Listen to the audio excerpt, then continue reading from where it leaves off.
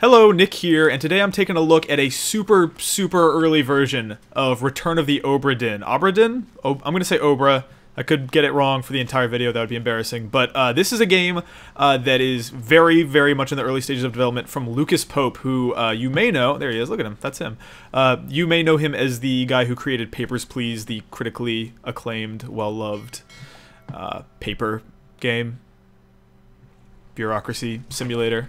Um, alrighty little warning about the earliness of it. Uh, this game attracted me uh, partially from the pedigree of it being a, a Lucas Pope joint, and partially because I think the art style just from screenshots looked fascinating. This is my first time taking a look at it, so I don't really know what to expect, but let's see.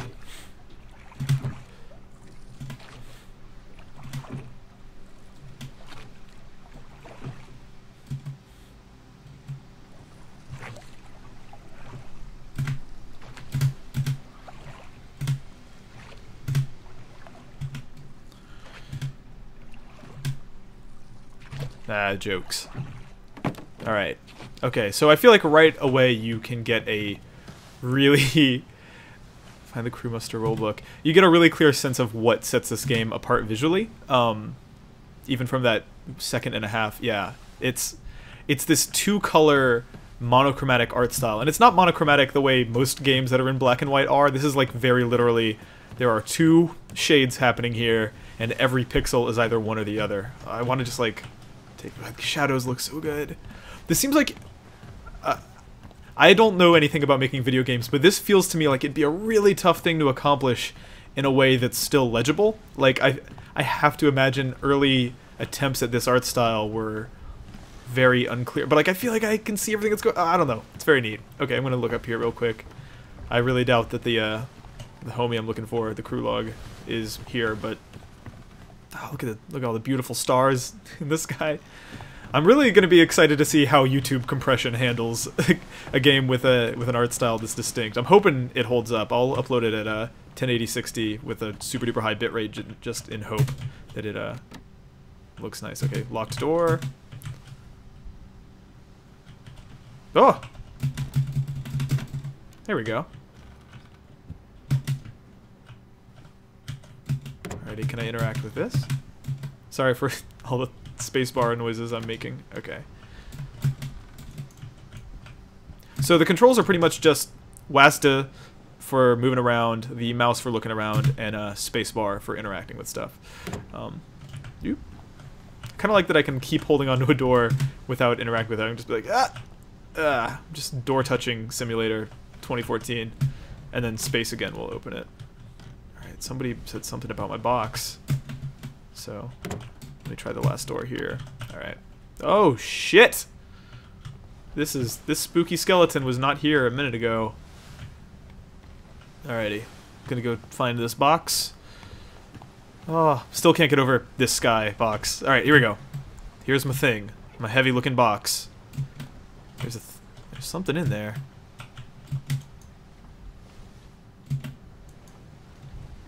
Remember death.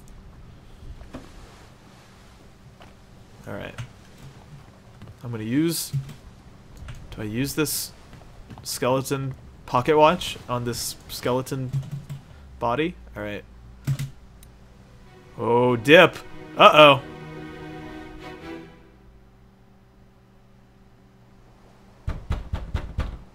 Huh. Captain! Open the door! Kick it in. We break it down and take more than those shells! You bastards may take exactly what I give you! Alright. So here there's someone shooting a gun. Okay, I think what's happening here is this is the exa this is the moment that skeleton became a skeleton. Alright.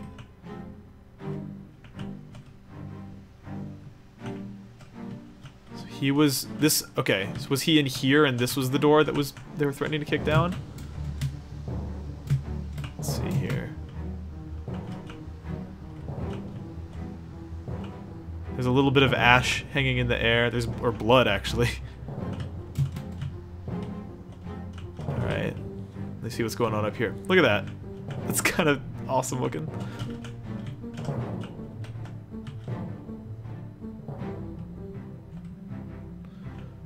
About you? He's got a knife in his mouth. Alright, I guess I observed all there is to observe. With my death my death my death note clock. Alright. Ooh, now this is open. Another skeleton! Multiple skeletons! Alright, I'm gonna figure out how all these people died. One at a time, but first I wanna take in some of this beautiful sea air. Alright. Tell me your story, skeleton.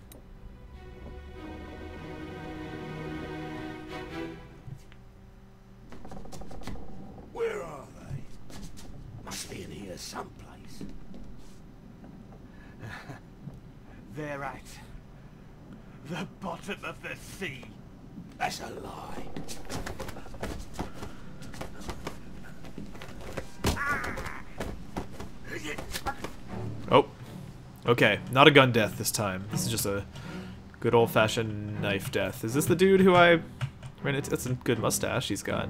I wonder what the models in this game look like before the uh, effect is applied. Alright. What else happened? Oh! Another man. Another knifeman descending from the sky. Alrighty. I feel like... Is there more to see? Oh, let's see where he's coming down from. I feel like a lot of these people died at similar time. Yeah, see, he's he was just killed. He's not a skeleton yet. There's still a lot to take in here. All right. Hmm. He leapt down from here. I'm assuming. All right. Learned some stuff. Okay. Alright. Now what about you? Tell me your story, skeleton. Going backwards in time. Woo! A lot of death noises in this game. Ugh. Oh, is that a bone? Oh, he's got a... He's got a stick. Oh, man. Look at all that blood and splinters. Ah, that looks really cool. Sorry. Oh, that's pretty rad. Alright. Damn. That was the moment he became a skeleton. Okay. This dude is outliving everybody. So, this was the dude, I guess, who was coming down with the... Yeah, there's his knife. Oh, he actually got the knife in him. Alright. It's...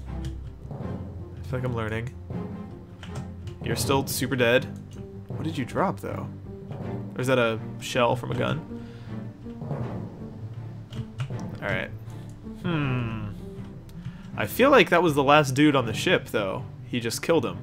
So, tell me your story. So is there a... I wonder if there's a finite timer? Like when the hour hand reaches the middle there, I... Yeah, got it. Okie doke.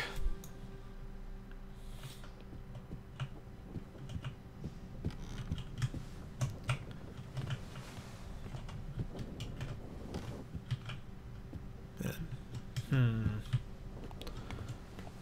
Back outside, I guess. Oh no, over here. All right, another another room, another skeleton. Oh, a sleepy skeleton. Good night. Good night. I gotta know. I gotta know sleepy skeleton story. Oh.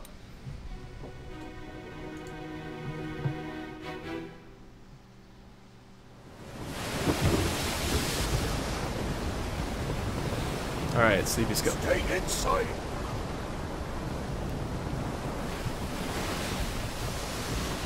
Is the devil's work. Never those things on board.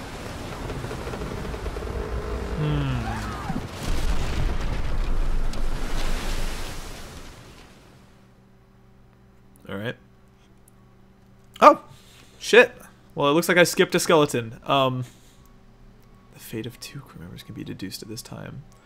Well, there is one skeleton I skipped, so if you are interested in your own skeleton adventures, uh, actually, maybe I can still. I, I have to know. Sorry.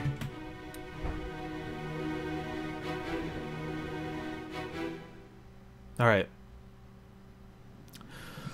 Abigail, your brother, my friend. I shot him dead. I'll be with you soon, my love. Hmm. Oh, is it a suicide? Please forgive me Oh man. for everything. Yikes. If you're gonna go out, I feel like using an old-timey gun is not the worst way to do it. Alright, how much time do I have left? Oh, Abigail is still alive. Okay. But where did the blood come from? How did it get all the way over here? Is it just... did it splat? No, it doesn't look like a splatter. I am pretending to be a detective. I do not know how murder or suicide works. Uh... Oh god. I've got just a few hours left to solve this mystery. So he's... is he the dude? He's the dude who fought all those guys. Okay. But why? What did he have? He had some sort of... There was some sort of treasure? Something went in the sea? They wanted his sea treasures? I... Uh, oh, okay. Well, I guess that's all there is to see of the development build of Obra Dinn. Um, if you want to know more about this game uh, and sort of follow its development, you can follow Lucas Pope on Twitter, and there should be links in the description below for all that stuff. Uh, but yeah, thank you guys for watching. I do videos like this all the time, so if you subscribe, you can see more cool little indie games. Uh, yeah, see ya.